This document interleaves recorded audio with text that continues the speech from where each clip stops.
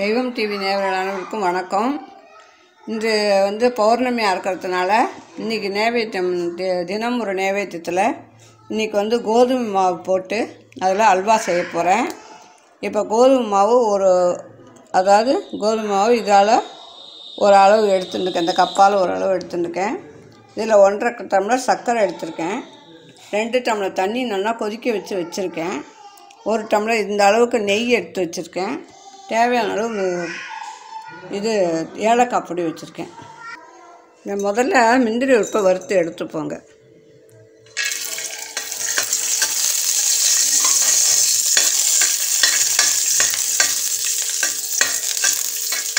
கொஞ்சமாக நெய் விட்டு முந்திரி பருப்பை வறுத்து எடுத்துக்கோங்க.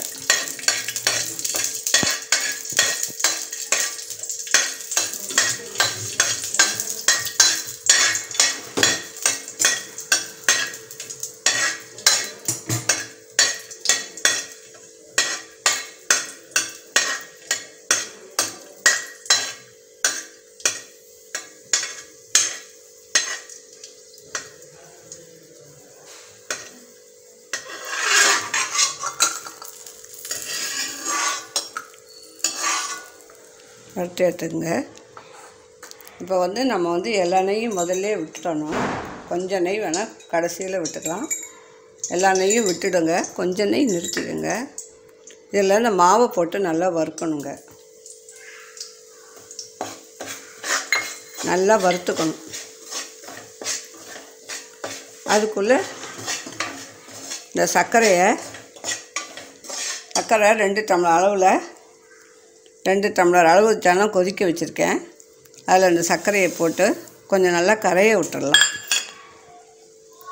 அடுப்பில் வச்சு கொஞ்சம் கரையை விட்டுடுங்க. நல்லா கொஞ்சம் கொதிச்சா போகிறோம் இது நல்லா வறுத்துக்கங்க.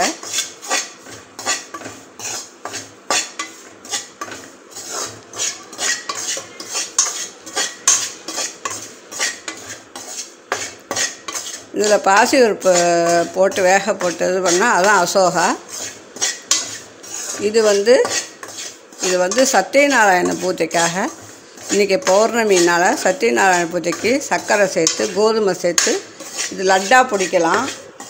இதை நான் வித்தியாசமாக இந்த கேசரி இது இது கலர்றேன். அல்வாவாக கலரலான்னு கலர்றேன். இதுவும் விசேஷம்தான். நல்லா வறுபட்டுருச்சு. கட்டி தட்டிக்க போட்டு. கட்டி தட்டாமல் கலரணும். கட்டியே இல்லாமல் நிறைய நெய்யை விட்டுட்டோம். இதிலே வறுத்து அதுக்காக நிறைய நெய்யை விட்டோம் கொஞ்சமாக நெய் விட்டால் நிச்சயமாக கட்டி தட்டும். இது கட்டி தட்டாது. நம்ம மாவையும் நம்ம ஒரு தடவை இப்படி இது பண்ணிப்போம். இது நிச்சயமாக கட்டி தட்டாது.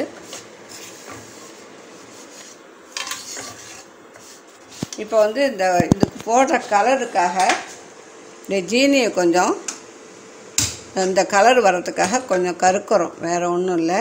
இந்த ஜீனியை கொஞ்சம் கருக்கினா அது இதில் நம்ம கலர் போட்டு பெருமாளுக்கு நைவேத்தியம் பண்ண முடியாது. கேசரி பவுட்ரோ வேறு எந்த பவுட்ருமே போட்டு இது பண்ண முடியாது.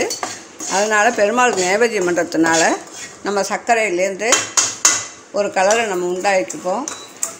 வெறும் சர்க்கரையை நீங்கள் தண்ணி இல்லாமல் போட்டாலே இது ஒரு கலர் தீ ஒரு ஒரு கலர் வரும். அந்த கலரை நம்ம ஆட் பண்ணிக்கலாம் அதில்.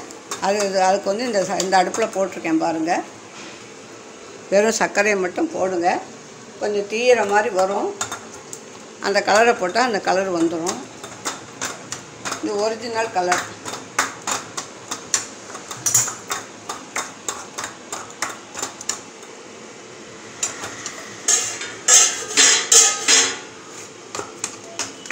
இங்கே பாருங்கள் கலர் வருது பார்த்தீங்களா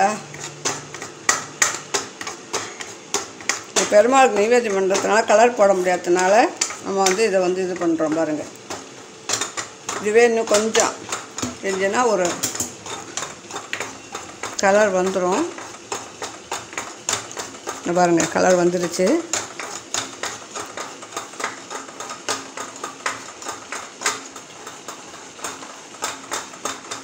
சர்க்கரை போட்டு இந்த தண்ணி நல்லா கொதிச்சிருச்சு. ஜீனி ஜீனி போட்டு இதை நல்லா கொதிச்சிருச்சு. இதை இப்போ இதில் முழுசாக சேர்த்துருவோம். முழுசாக சேர்த்து கலரி விடுவோம். கட்டி தட்டாமல் கலரணும் கட்டி தட்டிக்கும் கட்டி தட்டாமல் கலரணும்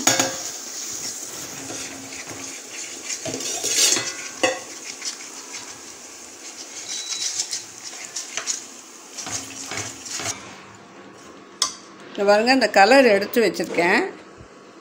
Caramel colour. அதை விடுறேன்.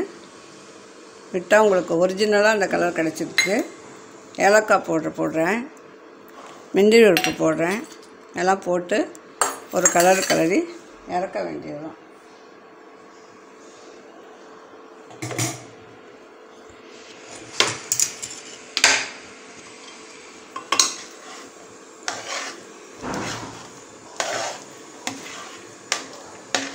பாருங்க. எலுப்பச்சட்டியில் ஒட்டாமல் வருது பார்த்தீங்களா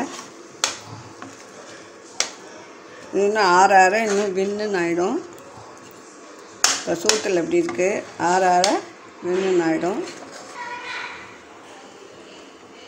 கொஞ்சம் நெய் கொஞ்சம் கடைசியில் விட்டுக்கோங்க. விட்டுண்டு இந்த பாருங்க. அல்வா ரெடி ஆகிடுச்சு சரிங்களா கொஞ்சம் கூட ஒட்டலை. நம்ம அதில் கோதுமை மாவை கோதுமை பண்ணுறதுலேயே பண்ணுற மாதிரியே வந்துருச்சு பாருங்கள் இது வந்து சத்யநாராயண பூஜைக்கு விசேஷமாக பண்ணுவாங்க. எடுத்து இதில் போட்டுடலாம். பெருமாளுக்கு நைவேத்தியம் பண்ணேன்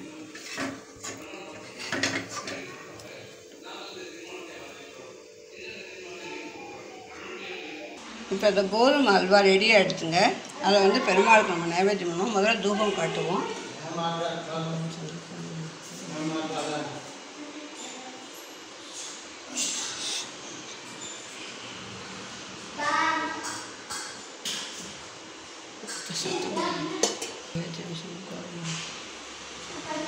தீபார்த்தனை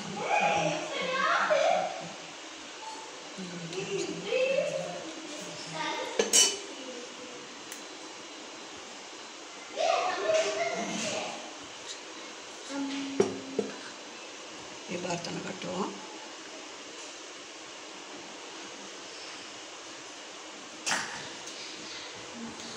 सत्यनारायण पेमा महादेव अनारक्ष पत्पांडव श्री नारायण वासुदेव तत्पूर्ण